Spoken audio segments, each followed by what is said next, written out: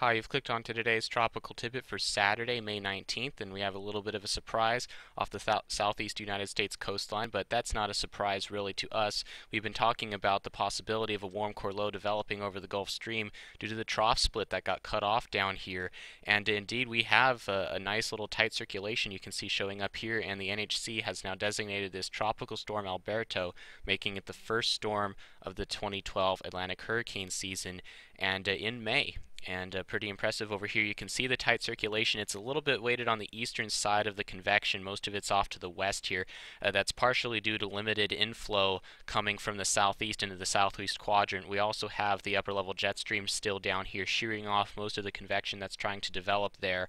And uh, so it's weighted off to the northwest, which is the opposite of what we normally have for early season storms. We normally expect it to be sheared off to the east and the northeast, uh, but it is different this time around. And uh, most of the convection is now now weighted on the side that is towards the coastline, which means that as this approaches and tries to come out eventually in a couple of days, uh, the, the, northwest quadrant at least will likely be affecting uh, the coastline in here. So expect heavy rains and gusty winds from this as it tries to make its move out in a couple of days. And we'll talk about the track more in a bit. Here's the radar picture of it. Uh, you can see a nice little tight core here, uh, generally wound up. You can see one main spiral band really coming into it here. And uh, little bit of an eye feature. You sometimes see these with the shallow systems that don't have the deepest of convection. The center gets dried out and all that. It's not really an eye, uh, but uh, you can definitely see the circulation. It helps point out the center here, and uh, we definitely have a closed circulation that is why it has been classified.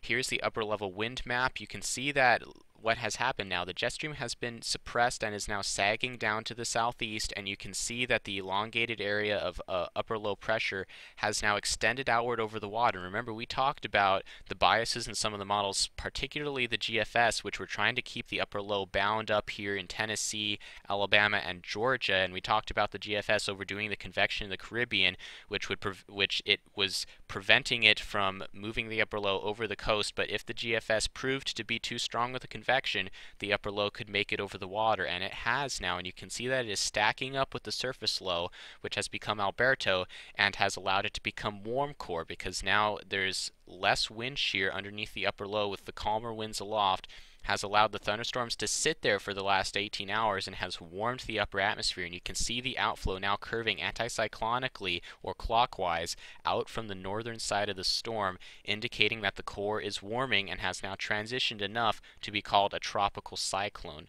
And uh, you can see the jet stream is still here right off to the south, so it's going to be difficult to get convection going in the southeast quadrant, probably for the rest of this storm's life.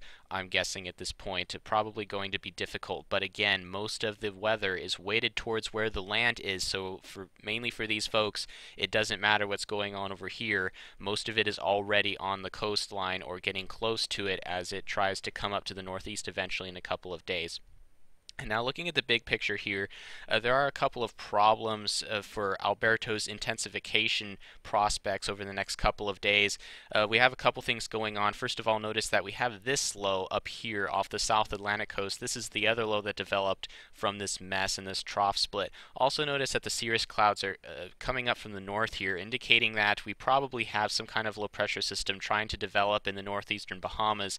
And the models wind this up in the next 24 to 36 hours into an nice little low. So we're going to have a triangle, one, two, three here of uh, lows that are going to be interacting with each other. This could cause a little bit of a problem for Alberto because of the competition for inflow, and again, we'll limit the southeast quadrant because inflow will be stolen uh, from the Gulf Stream over here, and most of its inflow will probably continue to come in from the north and northwest, uh, being kicked in by this low, pinwheeling this air down. The problem is, is that as this low backs towards the coast, most of the inflow is going to be kicked down off of the land mass instead of the water. And the problem is the air mass here is rather dry. Notice that over here in the center of the continent we have all these little bit of cumulus where the skies are clear but not really clear because there's this popcorn convection going off here. That's because of the moist inflow coming in from the Gulf of Mexico. But when you go east, notice that that dies off and we don't have as many of those low-level popcorn clouds. That's because the air mass over here is very dry.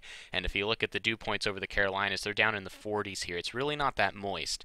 So getting all this inflow coming down into the storm off of the Carolinas and Virginia may not be the best for it and may choke off some of the convection uh, during the next couple of days or so. But some intensification is possible, especially with the tight vortex. Remember, we've seen all these tiny storms. When they're this tiny, they can easily feed back uh, for a little bit and eventually choke themselves out by taking in too much dry air. But for a brief period, can wind up, and we could see this get up between 50 and 60 miles per hour. Moderate tropical storm, but I don't think it'll be getting much stronger than 60 miles per hour if it does strengthen. It hasn't strengthened that much during the last 12 hours, which indicates it's probably not going to explode here unless the environment dramatically improves, which it probably will a little bit, but not all that much, especially after this low starts kicking dry air into it. Uh, but 50 to 60 miles per hour, I think, is the peak, and will probably peak before any kind of a possible landfall. Once it starts coming north, I think the environment will start becoming less favorable as this low comes up and starts um, stealing inflow from it and probably shearing it a little bit. Uh, now here's the uh, the sea surface temperatures. This is the other thing that's probably going to limit the system. The fact that the Gulf Stream here is only about 26 degrees Celsius. Yes, the environment is rather cold, which makes it uh, more sustainable. You can probably sustain a tropical storm here with only 23 de degrees Celsius waters, but you can see it does drop off near the coast, and that's the other thing. As it tries to come ashore, will move over the colder shelf waters and will probably weaken a little bit, and the Gulf Stream is rather thin, uh, but it is strong enough to support, warm enough to support a tropical storm here. Now here's the GFS 24-hour 500 millibar map. You can see the ridge that shows up over New York, New York here, and this is going to be blocking this down here, probably meandering off the coast for quite a while uh, through tomorrow, and uh, will not really be going anywhere, perhaps backing down towards the southwest a little bit. You can kind of see how it's moving very, very slowly to the southwest right now. It'll probably be meandering around here for a little while over the next couple of days off the South Carolina and Georgia coastlines, and then it's probably going to try to curve back and come to the northeast because as this ridge moves out, uh, this is going to be moving to the east, and then we have this short wave. You can see over the Midwest here will be coming eastward, and we'll probably start picking this stuff up and bringing it out of the picture, and uh, could bring it over the Outer Banks or so. You can see the the model spread here rather large, uh, but you can see the general idea. It starts to curve out to the northeast after meandering down here for a while. I think the models have a generally good idea. I would take it scraping the coastline here. I have a feeling it'll have a good shot at North Carolina with heavy rains and gusty winds. Um, not so much out to sea, uh, but then it will take it out to sea after that, probably missing Massachusetts there, and it will be converting to extratropical and possibly even dissipating in the face of the other low over here. And the second low, it'll probably start getting absorbed by that point in three to four days. But until then, it'll probably be reaching its peak down here as it meanders and then weakening a little bit as it gets drawn towards the North Carolina coast and then on out like this is uh, where I think it's probably going to go. You can see on the GFS surface map in 24 hours, it doesn't even really see Alberto down here. Again, because of the model resolution, these tiny storms don't always get picked up by the models and aren't even developing it very much. Uh, but you can see that the other low back here and the other low up here are very close in on its personal space and will probably be inhibiting it a little bit as time goes on. But you can see the blocking ridge up here that will be keeping it down there until it moves by and you get this shortwave to come in and bring it out. So we're going to be dealing with this for a little while. Uh, it'll probably be a couple of days. Monday is probably when it'll start approaching uh, the coastline, either making its closest approach or making a landfall, likely on North Carolina. But right now, uh, it's hard to say because of the steering currents are rather complicated.